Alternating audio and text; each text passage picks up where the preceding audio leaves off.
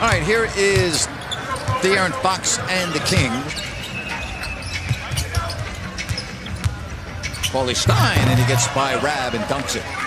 Oh, Willie, I need more of that. Oh, they got the lead. Defensively, you get some stops, get some turnovers, get out in the open court like that right there.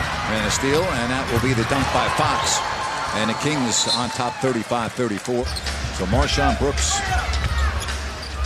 four off his career high. And Cauley-Stein banks it home. He's got 14. Oops. Willie's waiting for him. Broken up. Three seconds. Gonna have to hurry. Chalmers. And Memphis takes the lead. And they gave themselves a two-for-one situation there. Looks like they're going to spread it out and let Dillon Brooks decide.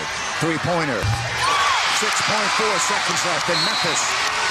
A big shot. 93-92.